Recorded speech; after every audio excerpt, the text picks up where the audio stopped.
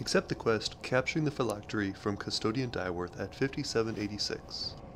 Travel northeast to coordinates 5980.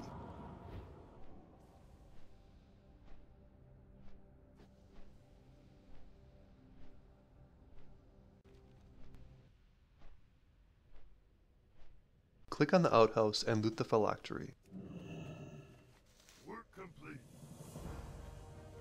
Travel southwest to 5786.